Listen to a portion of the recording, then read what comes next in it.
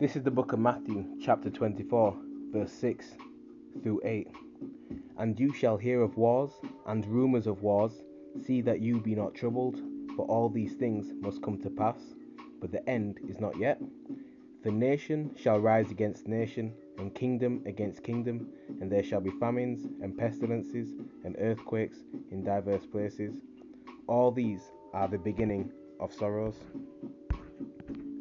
Barakatha Yahweh, Barakatha Yahweh Shai, Barakatha Yahweh, Barakatha Yahweh Shai, Barakatha Yahweh, Bahasham, Yahweh Shai, Waha, Rakha, Quadash. Yahweh is the name of whom the world ignorantly calls God.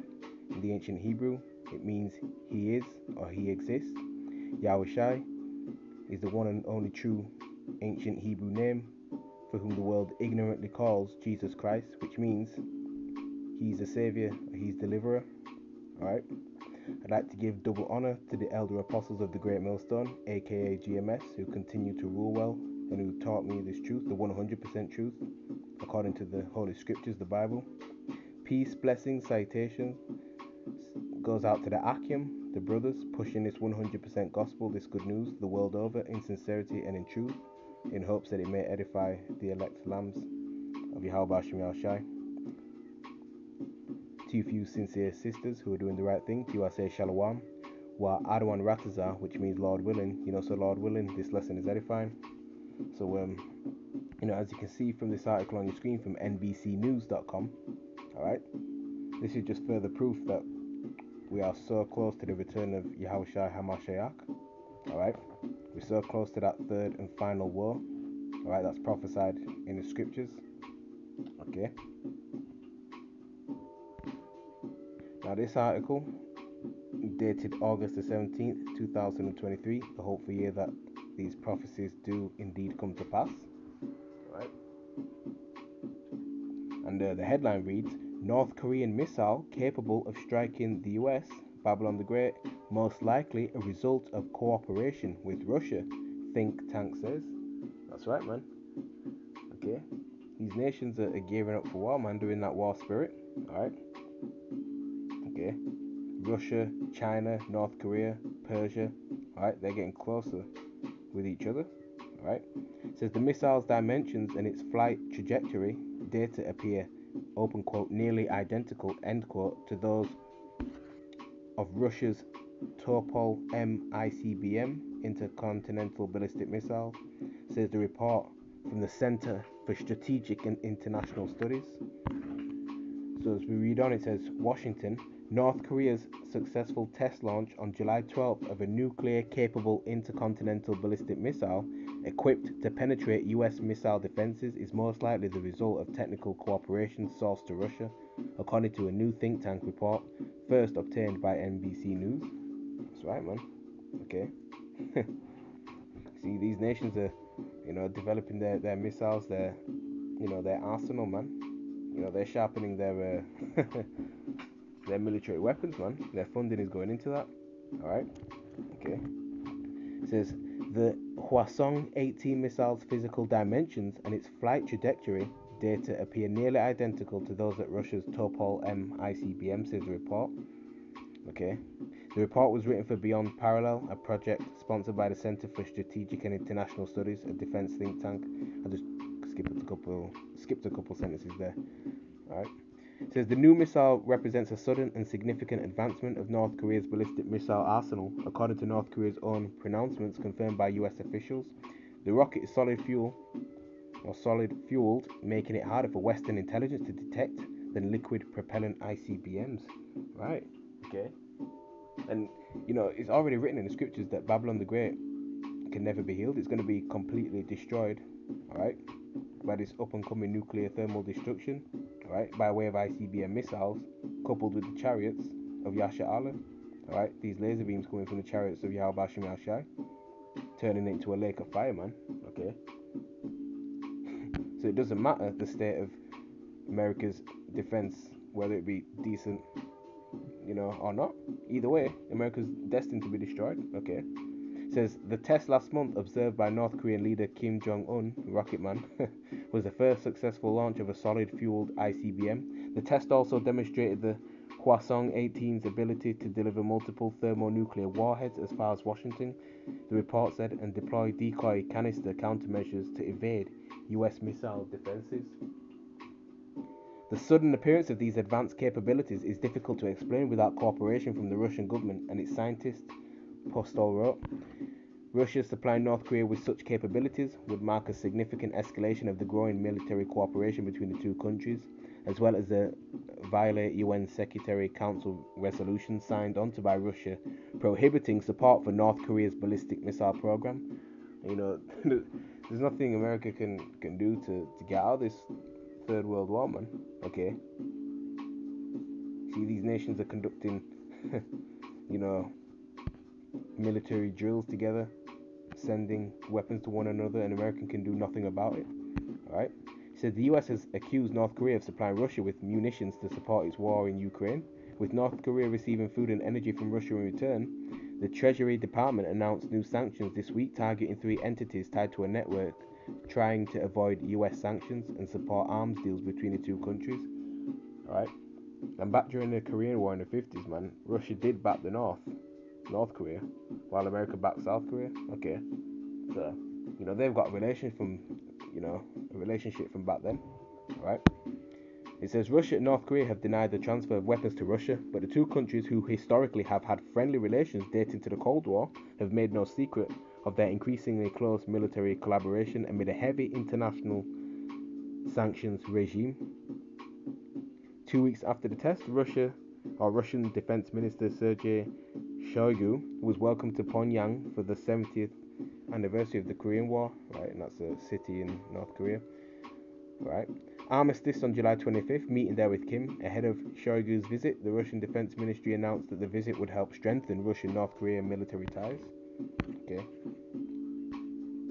And the article, you know, carries on. I'll just read that much for now, man. Alright. So there you go, man. You know, war talks are in the midst. Know, for the. I'm gonna look up the. Uh, the. Uh, not the melting point, what's the word? Uh, the heat of a th- ICBM missile or the heat inside it, how much uh, uh, what's the word? Salakia. You know how hot it can, you know, how hot it is, how hot it expels heat. All right, because when these warheads open up and land on Babylon the Great, man, it's gonna melt everything. Scripture talks about the element, you know, melting fervent heat, the concrete. All right, everything is gonna be decimated in America, man.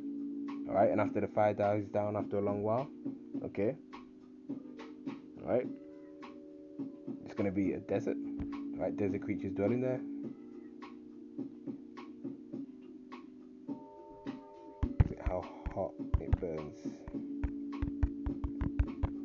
Like that.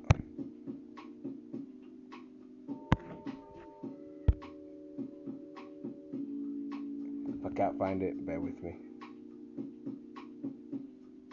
Alright? But the, these, you know, this, this is the spirit of Yahweh Hashem Shai, alright? That he uh, put on these uh, nuclear scientists to develop these, to develop these missiles, alright?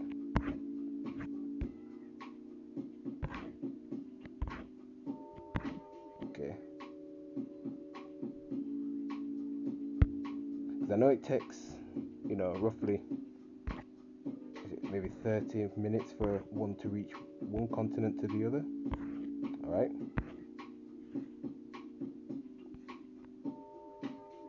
No, I can't find it. Slovakia. But neither, but anyway, you know, th- this is all prophecy, man. Alright? You know, and that proves that we're in, you know, the final generation because it's right, it's right around the corner, man. Alright?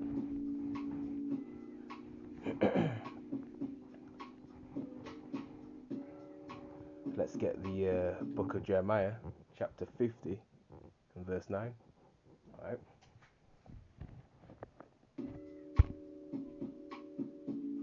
Just bear with me as it loads up.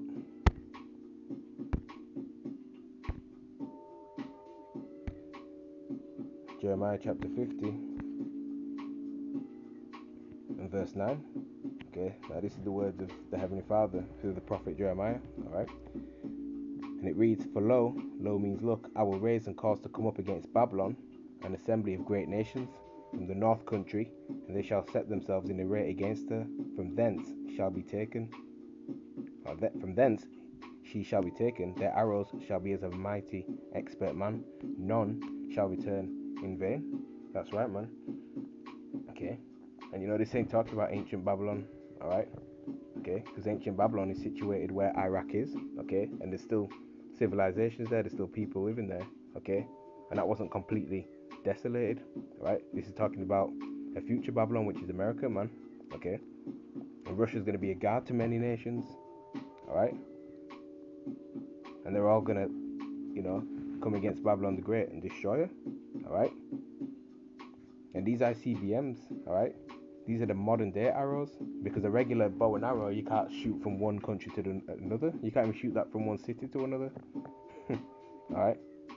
So, you know, the prophets use the terminology of their time to explain this. All right. Let's go to Isaiah chapter 46 verse 10. Declaring the end from the beginning. Right now, we, we surely at the end, man. Okay.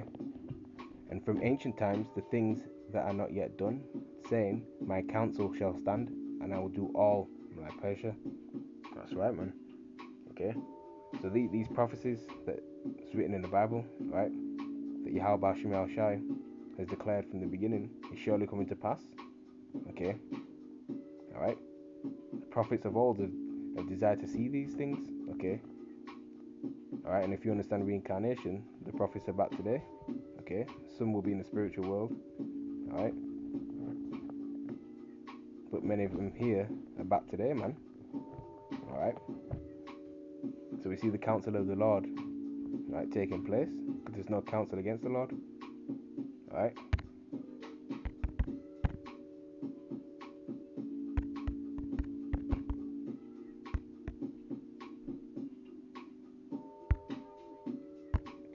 Book of Joel, chapter 3, and verse 9. Proclaim you this among the Gentiles. Alright, now in this context, the Gentiles is talking about the other nations, the heathen nations, alright? It says, Prepare war, wake up the mighty men, let all the men of war draw near, let them come up. Verse 10 Beat your plowshares into swords and your pruning hooks into spears, let the weak say I'm strong. That's right, man. So these nations who were once considered weak, who may never have possessed your right, nuclear capability, all right, and now talking back against America, all right, you know, and plowshares and pruning hooks are, are, are forms of um, agricultural means, all right. So these nations are not investing much into their agricultural, all right, farming tools, but rather they're investing into their military arsenal, all right. Okay, they're putting their money into that, okay right? Because they were getting ready for war, man. Alright? Verse 11 Assemble yourselves and come, all you heathen, and gather yourselves together round about. Thither cause thy mighty ones to come down, O Yahweh. Alright? So we can see this playing out, man. Alright? Okay. You know, and all these heathens, you know, these heathen nations, alright, for World War Three, alright, going to take place in the Middle East, in the Levant, all right, in the valley of Yehoshaphat, Yahweh's judgment, all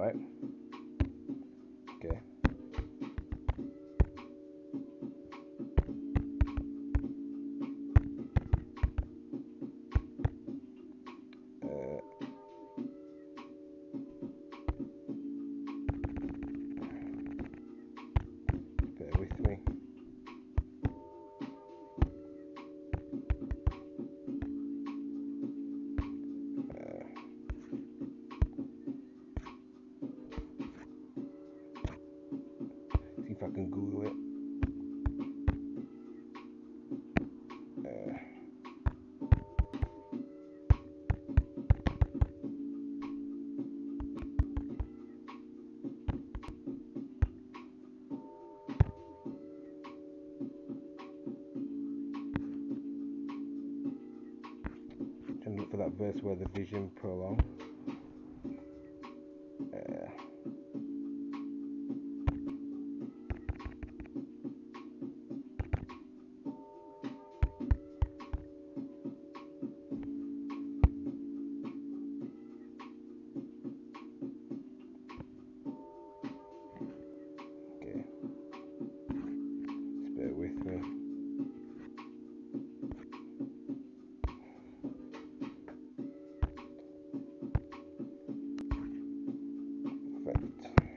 I'll end the lesson there. I think the point's been made.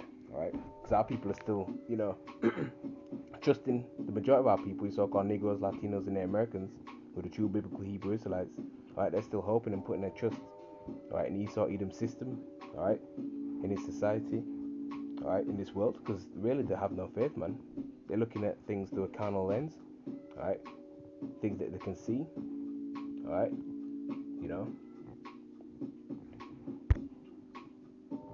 They like to scoff and mock the prophets of Yahweh Shemal Shai, saying, Oh, you're saying the same things over and over again. Alright? You know, we know about this. You keep saying this, you know, repeating yourselves. Alright? That's not going to happen in my generation. It's going to happen later on down the line. Alright? But clearly, you know, we can see, again, that we're at the end, man. Alright? The MOTB is right around the corner, and really it's here. It's just not been globally mandated yet. All right. So that's where we're at, man. So uh, with that, let's say shalom.